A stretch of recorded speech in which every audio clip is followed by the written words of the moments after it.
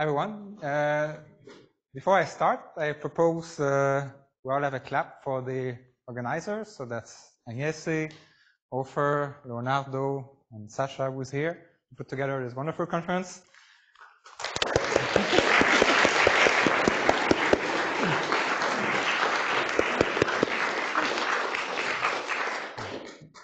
I understand that the staff was already uh, thanked, but I think we can also have clap for the fantastic staff. Loud enough that they can hear us. yeah. uh, could it be that you left with the little uh, switcher on your computer? No? It's really, maybe it's here. No? Anyway, so I can do it with a keyboard. So, so yeah, so it was a conference on, on, on algebras, and I thought we should have at least one side explicitly on large n operator algebras. uh, this is an interesting idea to consider uh, small fluctuations around the classical state. So if you have expectation values are order n, which is like 1 over h bar, look at small fluctuations, and this gives an interesting way of repackaging the OPE, which is depends on the state you're expanding around. And a particularly interesting thing is like of identity here, which you can think of as two-point functions of small fluctuations. And there's a lot of information in that in, in that object, and, and by decoding it properly, we can understand some things in the bulk. That's closely related to things we call heavy, heavy, light, light correlators and conformal field theory, and so on. This is not what I will discuss today. Uh, instead, we'll be looking at the next term in this expansion. Uh, things like, so one basic claim would be the following, is that if you look at the double trace coefficient in this commutator, which is like a four-point function in the background, the background state psi, in some interesting corner limit, it's basically encoding some bulk scattering amplitude near the edge of the causal wedge. And if you know these amplitudes, they basically reveal the bulk geometry in a very, very straightforward way. No decoding needed. Going to be one, one message. And so here's the outline. So I give some general motivation. Then I describe exactly how, how what kind of four-point correlators we look at, uh, which will have some non, non-familiar operator ordering, orderings. I'll discuss how we actually compute them. And then I'll show some images of what they look like in some actual states. So, so I think a, a lot of this is motivated by, the, by this slogan that certain class of holographic CFTs should have some local gravity physics, should be dual to local gravity physics. So this should emerge from the field theory uh, that we have essentially Einstein theory coupled to matter. And this is something that has now become much less mysterious than it was. We understand it rather explicitly for a simple correlator, in particular the stress tensor around the vacuum state. Uh, it was clear from Alex's talk this morning, we should, there are probably ways, interesting ways to refine this criterion and, and, and probably still missing a lot of interesting things there. But it's much less mysterious than it was. But still, we're far from having a full account of the nonlinear theory. How do interesting solutions emerge? And, and here, for example, uh, I have in mind a, you know, one of the early predictions of ADS-CFT was that if you take a certain specific uh, gauge theory at strong coupling, you, by solving, by finding a, a, a, black hole geometry in the bulk, you can calculate its free energy and all sort of interesting properties. And I think until like we can actually do this from CFT language, I think we don't really understand how, how, how gravity emerge. So I think that's like the standard we should aim for. And in terms of uh, uh, general, general, general things here, so, so, so of course we kind of have some idea of the, of the uh, uh, how to get the bulk metric from boundary objects. So for example, if I give you the stress tensor of the boundary, by integrating Einstein's equation radially in some Fefferman-Graham expansion, you can reconstruct a bulk metric. It's not quite, but this, this notion of emergence is not really, I think, useful. It's not really in the line of, of what we want to do.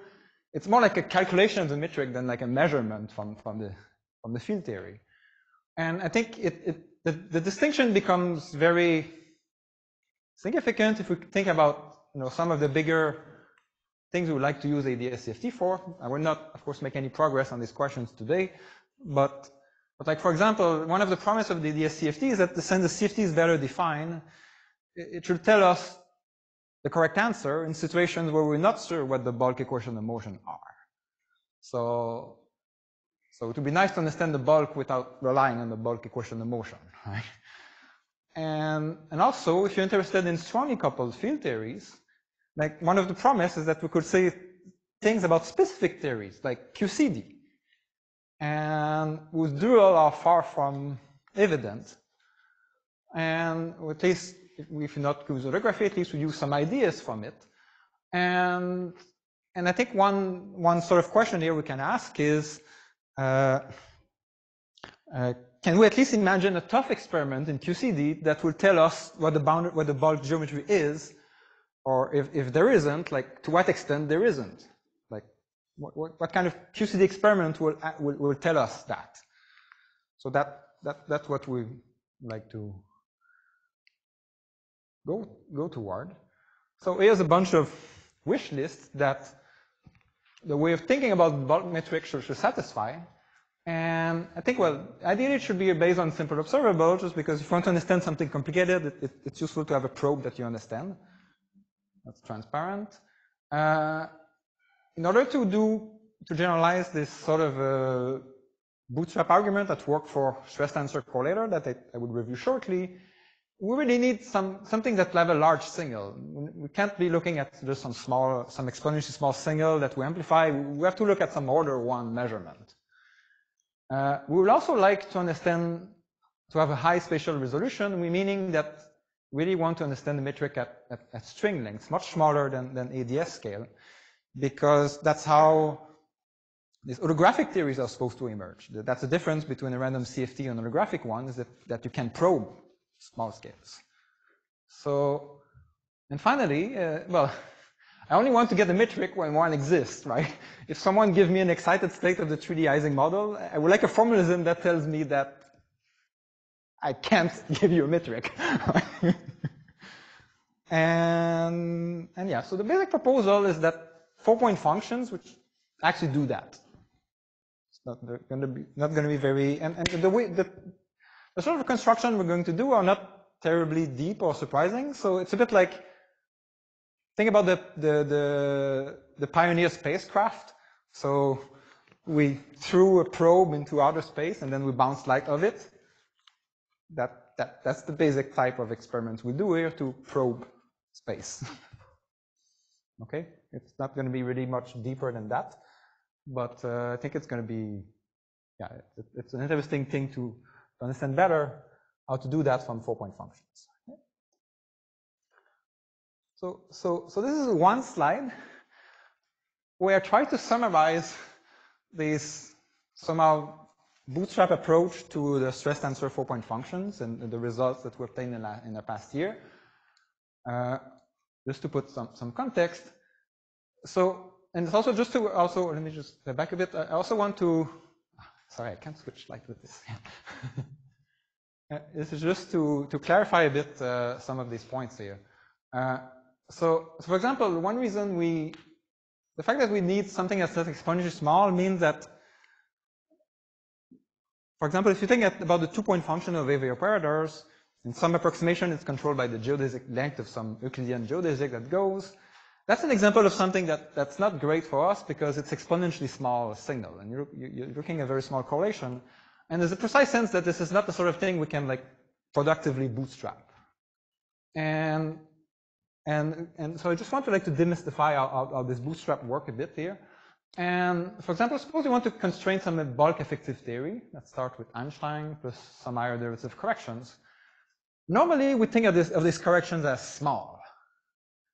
And, and yeah, the coefficient here is some power, inverse power of some mass. We expect that this is kind of a gradient expansion that all when the derivatives are, are small. And we're only going to use that action in that regime. But if we want to actually constrain this action, what you have to do is to actually study scattering experiments at the cutoff where it breaks down. And that, that, that's what we actually did. And, and, and you and use energy that are somewhat larger than the cutoff, but still like much less than the Planck scale. And that's the generic reg regime we also have in mind today. Just when we do scattering experiments like that. And also we have to probe impact parameters that are close to the cutoff. You have to push it to the limit to, to, to constrain it. And even though the effective theory is broken down above the cutoff, the idea is that we can get sum rules which relate what happens at these energies to what we measure at low energies. And the unique thing about gravity is that you can write a sum rule for G Newton. You can't write that for electromagnetism. But for gravity, you can write a sum rule for G Newton. It's because the force grows with energy somehow. And you get some sum rule. And you can also write sum rules for all these higher derivative interactions. And, and, and because of dimensional analysis, you get inverse power of, of, of the energy you're looking at, or the scaling dimension of the exchange operator using CFT language. We got sum rules that schematically look like that. And the game is to find positive combination of the sum rule for G Newton that dominates the other sum rule. Then you compare them, you get a bound on the higher derivative correction in terms of the energy scale of your energy experiment. So that's how, that's the mechanism by which we get these bounds. But I just want to emphasize that, you know, there's a lot of technical detail involved, but as soon as you have a sum rule for G Newton, you know it's going to work. That, that's really the key thing about, about gravity. You can write down sum rules for G Newton. And get results of this, of this type that, that, that really tells you, yeah, that, that they tell you two things. They tell you that AEFT works up to this higher spin scale. This, this is the dimension of the first higher spin operators. And conversely, they tell you that in any theory of gravity, as soon as gravity becomes modified compared to Einstein, you need a tower of light. You need a tower of higher spin particle to appear. These things are correlated.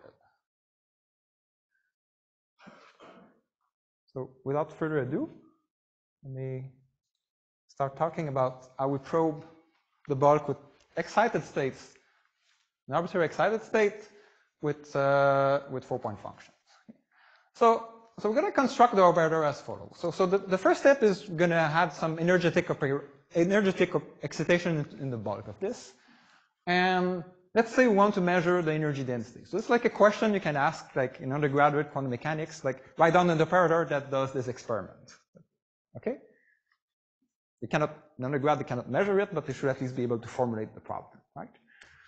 And, and the basic answer is this, right? So you start from your state, you say, well, you want to add an excitation, well, okay, you act with O.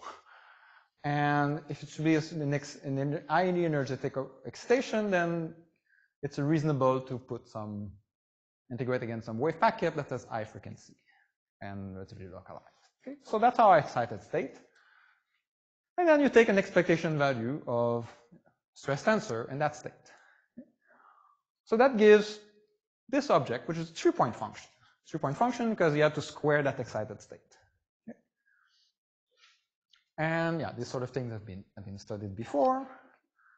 And, and the important thing to notice is the operator ordering, which, which is the one that will be familiar to you in the undergraduate quantum mechanics class, but it's not the one uh, before you learn to do time ordering in quantum field theory. Like it, it's very, it's not time ordered, and it's important here.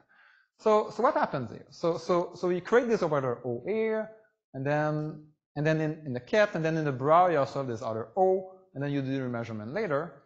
And a useful way to think about those pictures here is to imagine you have a time fold. And, and, and instead of involving the bra forward in time, you can also imagine that you have a particle that starts from, from, from O, goes forward, and then moves back on the complex conjugate amplitude. Okay, it's the same picture, it's just different ways of thinking about it. So I end up drawing a picture like this. The Feynman diagram kind of look like this. So you have some, some propagator that goes one way and then it goes back. Okay? And, and you can like glue it wherever you want in the future. It doesn't matter as long as you go outside the past leg cone of your measurement. But doesn't matter. Doesn't not going to influence your measurement. So we can think of this calculation like this. So I'm just introducing notation effectively for this sort of time folds. So you see that I'm, I'm drawing I'm drawing a space-time picture where you the time fold is kind of yeah, there's reminiscent of the time fold. So, so that, that's formally how we define these things. And it's important that operators are not next to each other because if I, if I move the O here to the first branch, then I'm going to create it and absorb it and it's never going to measure anything, right? It's very important that the order, that the T is between the, the O's.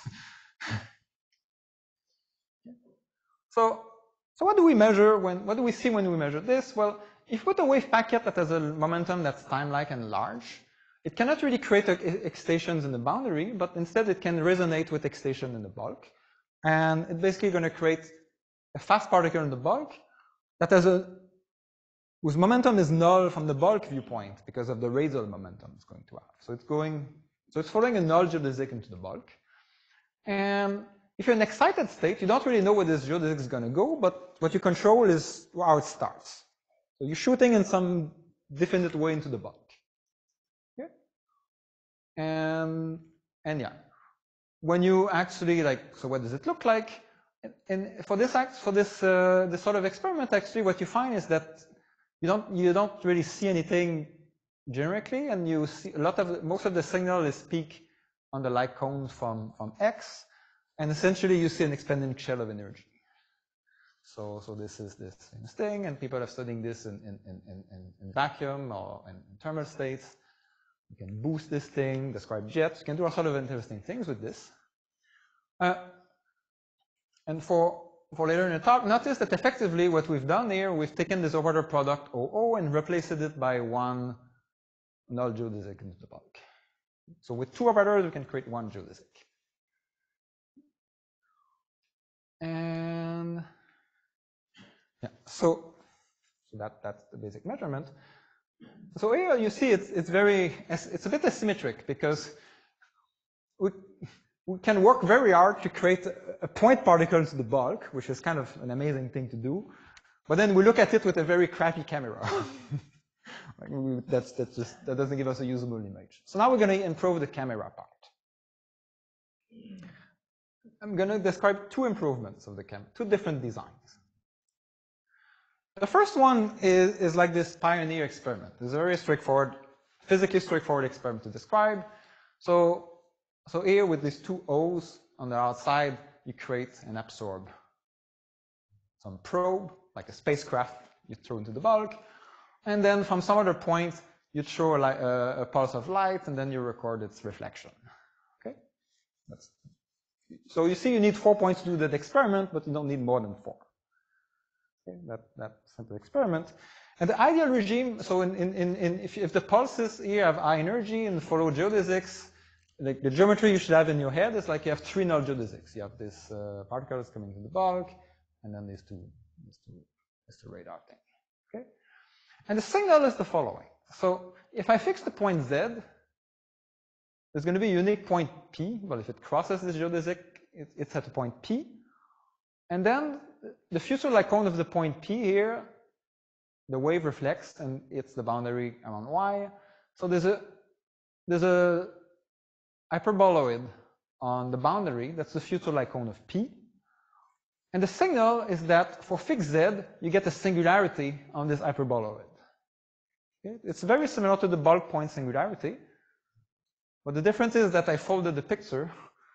So a bit like the pioneer experiment, like you, you can get data even if you don't recover the, the, the spacecraft. In particular, like the spacecraft could fall into a black hole and, and, and you still get your data. More interesting data. Okay, so that's it's very similar to, to what things have been done before, but I've changed the operator ordering, which qualitatively changed the experiment.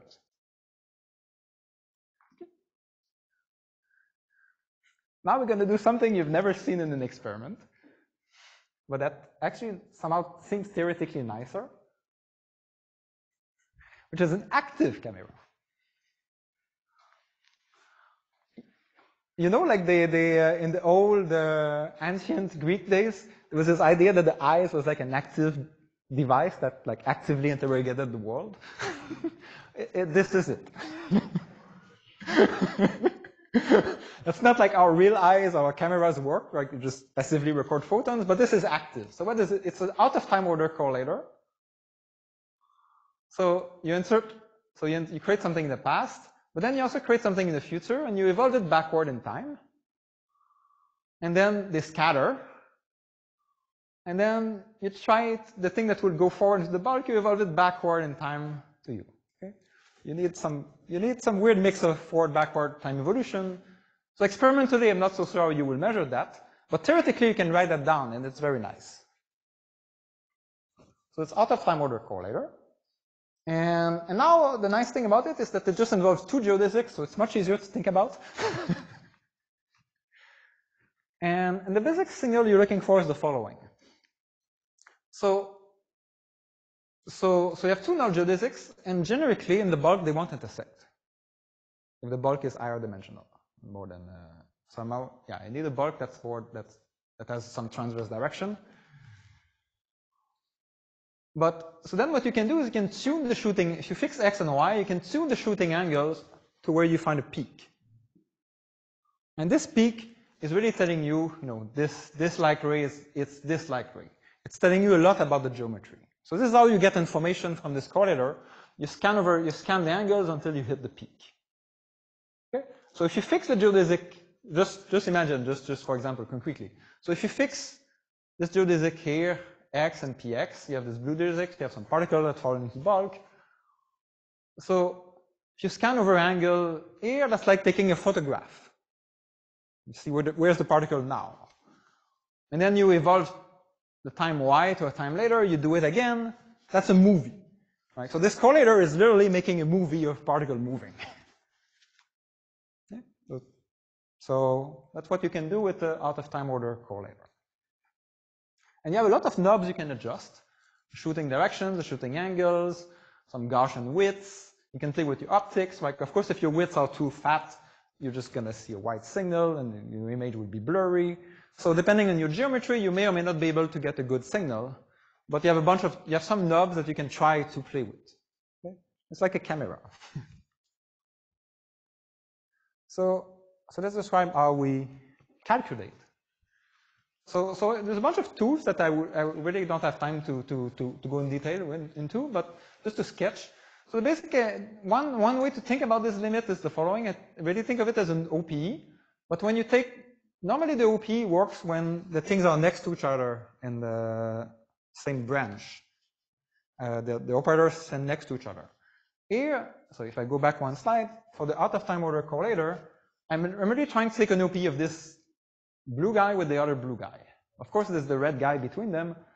So, so, so what the red guy does, what, it, what the reason it makes things more complicated, is that now the OP will involve non-local operators where the particle goes around the Schwinger-Keldysh contour and comes back, goes around the time fold and back. So the OP involves non-local like ray operators. And, and you can describe this sort of OP in any theory, in any CFT, it's very general. And in holographic theories, it's going to be controlled by null geodesics that go through the bulk. And, and so you have to integrate over the bulk shooting angle, and you have something like a bulk like ray here. I'm working to leading order in, in, in gravity. And to leading order in, in then when you take the four, the four point correlator is like a two point function of these guys, it gives you things like this. Essentially, you have a null geodesic, another null geodesic, they interact by changing a graviton. So that's a sort of a diagram you get at that leading order. And then you can calculate this diagram and see what, what the image looks like. Which geodesic is it like uh, this one here. So the geodesic is labeled by an angle theta, which is what I integrate over here. Yeah. And this theta here can be anything on the future light cone of x. And, and the idea is that if you do a Fourier transform of this, by when you Fourier transform against the wave packet, it's going to pick out a fixed a given angle. But uh, in position space, you have an integral over angles. So this formula is actually very similar to, to formulas that, that were obtained earlier. I will describe momentarily why. But so I didn't really do a lot new here. But the, the, general picture is that you could imagine that this, this, this, this sort of OPE, the claims, is something you can do very generally. And if you go to string theory, then stringy corrections will show up by this ray operator will become Regge trajectories instead of, of, of, of, of just integral of, of the graviton. So, so this, this hopefully, apparently, a systematic way to proceed here. And, and, and, and the reason I believe this is that in, in vacuum, this correlator turns out to be exactly equivalent to something that's well studied. So, so if you're in vacuum state, you can take a four-point function. And there's a so-called Regge limit when you do large boosts. And so you have a fast particle going left that interacts with a fast particle going right.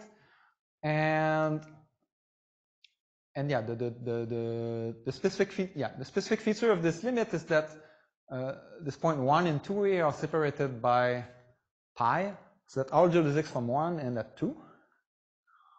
But if you think about this picture, I, I, I fit the picture in the Poincaré patch here, but it's a bit arbitrary how you put the Poincaré patch on it. So if I slide the picture half a patch northeast, I have the exact same configuration in the cylinder. So it's the exact same correlator, it's conformally equivalent. But going outside the Poincaré patch, you can also take in terms of folding the picture. So this picture is equivalent to this picture. We have a particle coming from the origin, going to infinity, and then I'm doing a measurement at infinity. This is like a detector and a collider experiment. So, so this have the paper on this. Uh, oh, uh, last last uh, last last last fall. And then if you shift this picture again, half a patch southwest, you get this double folded thing, which is out of time order correlator I was just describing. So so so you can see geometrically why all these things are equivalent in vacuum. And because we believe we understand one of these OPEs, I think we, we by Regge theory, I think we, we can apply the same machinery for all these things. In excited states, they all become different. And, and, but it's the same basic machinery. So, so now let's show some images. So this was the simplest case with vacuum. I shoot from the origin in some direction, and then I record after some time delta t, and I make a photo, I scan over angles to make a photo. This is this photo. Okay? And, and this peak here is when they hit. Okay? Now just to make sure we're all on the same page, I'm going to ask you, at least those who haven't seen the talk yet, suppose I fix a shooting angle and I make a movie by evolving this time forward. How is this going to move? Try to answer this in your head. Okay. So keep this thing shooting, this thing shut. Yeah. See it?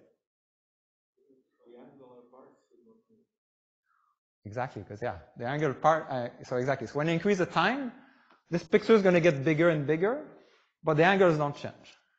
The peak is going to stay the same place. There's a fake play button. so you have the full movie, you made the full movie in your head. okay? So that, that's how you make, okay. And, and, and from that, you see that, that uh, yeah, nothing, nothing happened. So, so, so yeah, the bulk was very symmetrical, so there was no deflection, particle going straight, looks straight. Now, okay, let's do an interesting state now. Sorry, just to clarify, there was an actual four-point function Yeah, yeah, yeah. So the, I'm plotting here the, the strength of this out of time order correlator. This is plotting a, the vacuum. So this, I'm plotting the correlator from your paper. This is like uh, Fourier transform. scalars with an exchange of a graviton. Yeah. Yeah. Yeah. And and to be fully uh, for full disclosure, uh, in in uh, ADS3, the amplitude as kind of like the dependence on the impact parameter is like absolute value of b. So I've taken two derivatives of it to enhance the signal. So to really see a singularity. Now let's do this for thermal state. Actually, you don't have to do a lot of work for thermal state because uh, it's related, a planar black hole is related by, by conformal transformation. And, and before I show you a movie, let, let, let, let, let's add a little gadget. We like to see how deep the particle is. How do we see depth? There are many ways to see depth. That's one way to see depth.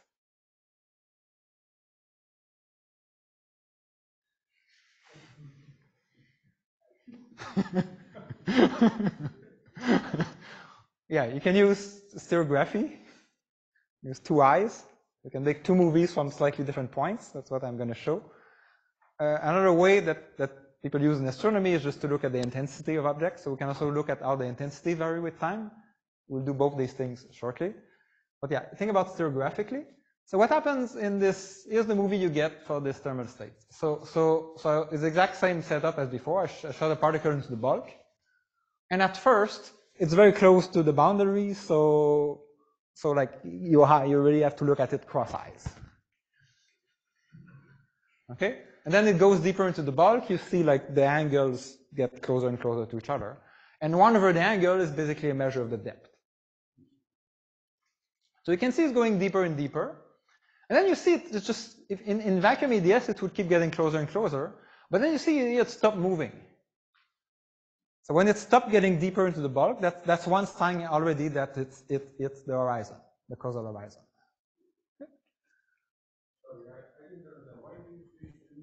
Oh, actually, it was not a planar black hole. This was uh, on a circle.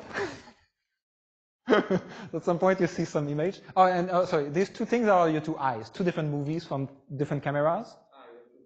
You have two cameras. Yeah, so, so yeah, one of them is, is, is, is slightly skewed, so you see it moving. Yeah. So the, the, the, the color should change, right? I mean, I guess. Yeah, the color was normalized. Uh, yeah, so let's talk about that now. The, the, the, intensity changed with time. So in terms of data, what can you plot? So you can plot like the parallax, which is one over this angular separation. You can also plot the intensity at the peak. Okay, so let, let's plot those two things. So this is all kind of the raw data you get. And the intensity is kind of interesting. So at first you get some intensity goes like uh, times square which is just a signature that you have scale invariance of the of ADS. So, so from this you record, you realize that you have an ADS geometry. And then at late times it transitions to this exponential behavior that uh, Douglas talked about uh, yesterday. So that's this, Lyapunov exponent, that, that's the signature of a black hole. And you can also look at the parallax, and as, as, as you guess it, it gets frozen at the, at the horizon. And, and actually from those two curves, you can literally like combine those two plots into a plot of the metric.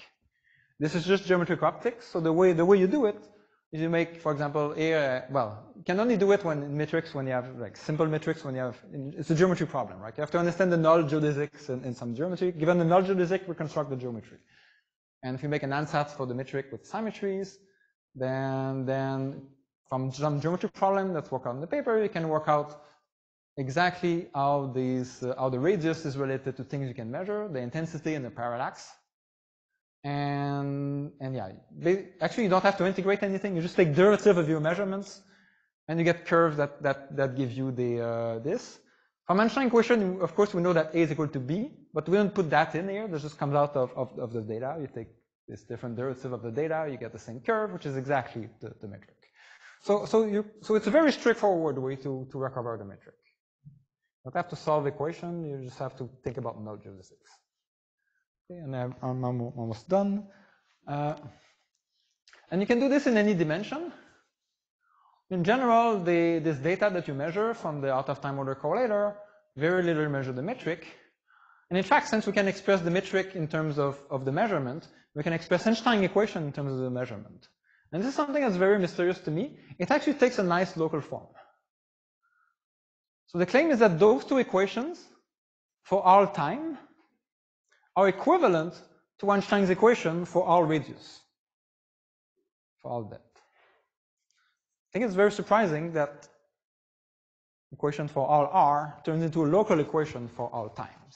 And it, we have to understand what this means from a kind of bootstrap perspective. Like if you just, they just give you four point correlator, why would you expect these properties to be true?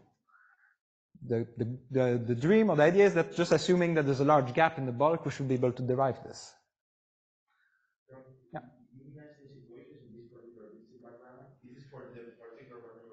Uh, Einstein equation in anything that has translation symmetry and rotation symmetry. Yeah. Okay, also if I put some pieces as matter and stuff. Yeah, so if you put if you have a state with less symmetry, then I don't know that exactly where, why, when, and why you get local equations.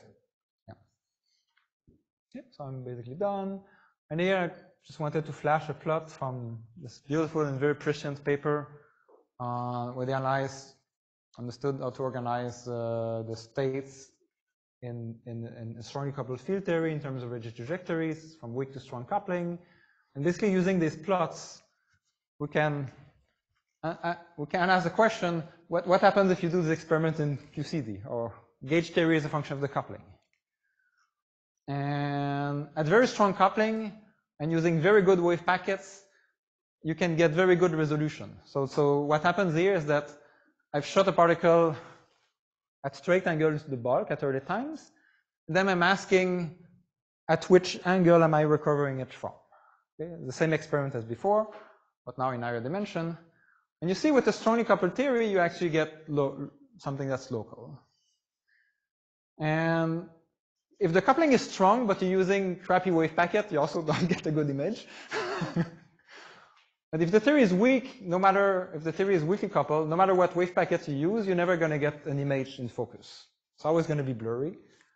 So this is what happens when you shoot into the bulk with a cannon that is free and tensionless.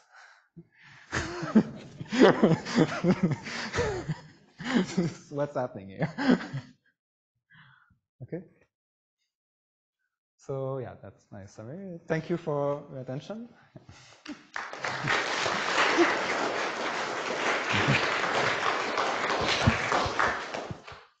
Questions?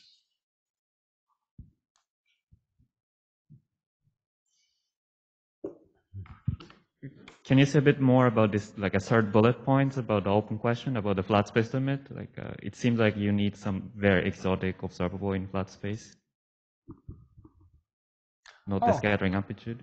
No, I think if you just, uh, suppose, suppose, for example, you have a Schwarzschild black hole that's sitting in the Liouville space. And this resonates a bit with, uh, with, with the previous talk. So, so you can imagine scattering gravitons of it. And, and, and you can play this radar experiment with gravitons. You can play also this out of time order scattering amplitude. I think you can define it. So, so, so that's the idea. I, I think if you think about the experiment physically, I think there was nothing very special about ADS geometry about doing this experiment. But what, what is the out of time order scattering experiment? It, it's not. Yeah, it, yeah you, you, have to go back to like lecture notes from the 50s when people didn't really uh, internalize the LSZ reduction formula. They would write, you know, they were A and A dagger for in states and A and A dagger for out states, and then you put them in random orders. Oh, okay. Well, I, okay, I understand you can define it. I mean, conceptually, it's like you apply LSZ on the Schwinger-Keldysh contour. Uh, but, Um, you know, they're mysterious. I think we need to understand them better. Yeah. Um, so yeah, if you go a few uh, slides back, uh, you have an explicit equations for the metric in terms of the parallax. Yeah, yeah, these ones. Yeah. So for example, in the first one, you have parallax in the denominator, right? So it means that uh, your geometric data you extract, it's very sensitive to an actual values of the OTOC. Is, is that right? Uh, it's very sensitive to what, sorry? It's sensitive to the actual uh, boundary data. Because, I mean, typically, Yeah. whenever you do like a numerical or an actual experiment, Yeah. your answer for the OTOC, it will contain some small error. And I'm just yeah. wondering how much it will affect Yeah, the actual bulk reconstruction. Yeah, yeah, yeah. That that that is a good point. Yeah. So it's not necessarily exponentially small. So th- this is about. So this is a question of how well can you separate those two peaks. So that that hmm. so the parallax that show up in the denominator is is that question. Mm-hmm. And and this. Yeah, of course, if you fix the, the, the, the, the, if you go too deep for a given wave packet, they will get blurred together. So, so yeah, it, it, it, it depends on all sort of factors. I've, I've, I've not done the systematic analysis. Okay, thank you. Mm-hmm. So uh, I just wanted to compare this with the bulk cone singularities. So Yes. this is something that we proposed with Mukund Rangamani and Hong Liu in 2006, where you just take the singularity in a, in a two-point function, Yes. and then it's it's sort of like microlensing. So you you detect uh, the bulk metric simply by seeing where the endpoints of a null geodesic Yeah. um, through the bulk lie, and you can extract re-extract the bulk metric and find the horizon formation and yeah. all sorts of things. So that seems a bit more stable than trying to diagnose a bulk by first chucking something in and then so, measuring so- things. Yeah, exactly. And there's actually a lot of interesting things you can do with two points. I, I agree with this. It's like the, the spirit of two points in the background. And, and, and, and the reason here I, where, where I think it becomes more stable is especially near horizon. I think I have a picture here that shows this. Because if you imagine like this blue curve is like the probe that you're throwing into the, the horizon, and it's still possible to like bounce something off it and, and get a signal back. So, so, so it's much more stable than, than, than, than trying to like, with two point function, the best you can do is like shoot sideways and then look at how it gets deflected for geodesic that kind of skim the horizon and, you know, hope that it did not, not fall. So, so I think, I think you it just gives you more, more, more, more different experiments you can do. That, that's the main difference. I see, very good. So you, you said this has a little bit la- larger reach for Yeah, I think, I think more it's a mo- restricted yeah, yeah, it has region. a larger reach, yeah. And it's also something which is, from my viewpoint, nice. It has a high level of redundancy, which is nice for trying to like do bootstrap constraints on consistency condition.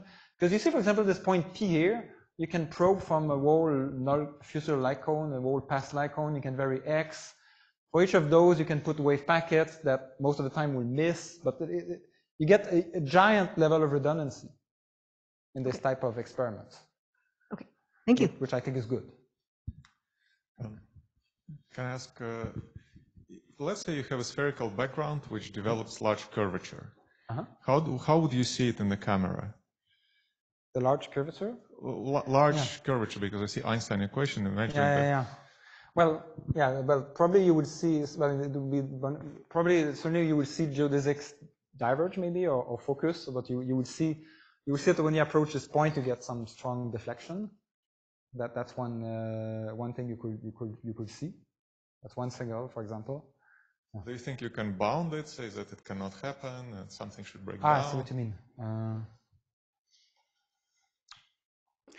yeah, it's a, like the goal is to study these sort of things in situations where we're not sure what to do in the bulk, right? So, so, but the answer currently is I, I, don't know what happens close to singularity. I mean, this OTOC definitely satisfies some bounds. The the the difficulty is that there's a lot of mechanism for these bounds to be saturated. Like if you if you go if the bulk center of mass energy is bigger than Planck, maybe you just get like eikonal resummation and something like this. There's a lot of boring ways for these bounds to be satisfied. So they so the fact that the correlator is bounded doesn't necessarily tell you that singularities can't exist, right? So so yeah, one one would have to analyze these situations. And, and the second question, uh, I haven't quite understood. Do you have a prediction for the, say, behavior of the Regge intercept as a function of temperature? For example, let's say we have a conformal Regge theory in the vacuum, Yeah. and I would like to ask Yes. you that. I have a prediction which actually was, it's, it, it's far from clear how it fits with what uh, Douglas was, was saying, but my prediction is that the log of these formulas for this uh, folded OPE, let, me try to distinguish two things. Uh, okay, uh, I think it is best here. So, so the, claim that when you take this delta x to zero here, you can do an OPE in terms of some Regge trajectories, which are some function delta of j, okay, or j of delta.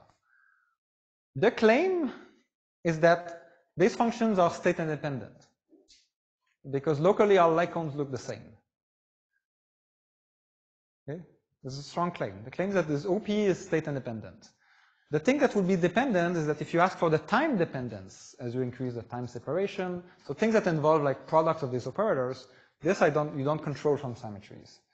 But the dependence on, on small delta x, I believe should be state independent.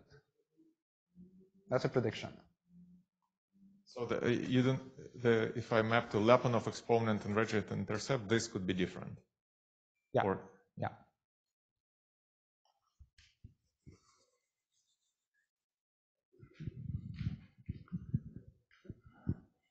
Yeah, uh, yeah, I'm, I'm, I'm- I'm not sure if I understand correctly. So the, the way you can get the metric is if uh, the null geodesic can reach that point. So if, if you have, a- if you have a space-time which is geodesically uh, incomplete, like, if, I mean, if, if you cannot reach a certain region in space-time, you cannot, you cannot get it, right, from your Yeah. OTOC. Yeah, indeed. So, so, so, so to reach a point using this sort of idea, you need the point to be connected. It's past light cone should intersect the boundary somewhere, and this future light cone also should intersect somewhere. That's the minimum you need. Right. Uh, yeah. This is if you use physical correlator. So I, I, I think a general message is that you know humanity has explored four-point functions since forever, but we haven't yet explored everything.